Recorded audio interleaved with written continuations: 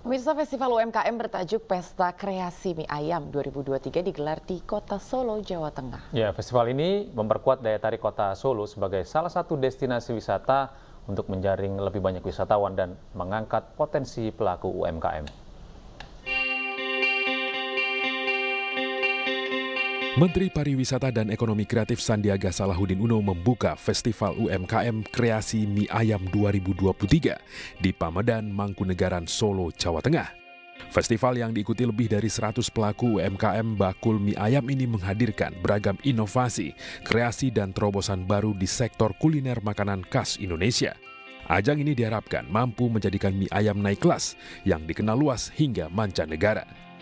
Dan mie telah menjadi uh, daya tarik uh, kuliner Indonesia karena uh, mie ini sekarang sudah bisa dikreasikan. Tadi saya mencoba mie Jepang yaitu jero pangsit uh, mangkok, ya, mangkok pangsit ya.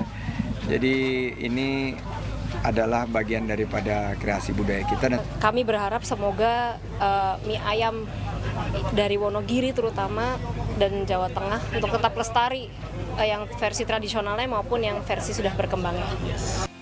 Sementara di Yogyakarta, Menparekraf berdialog dengan pelaku UMKM dalam kegiatan akselerasi rumah siap kerja.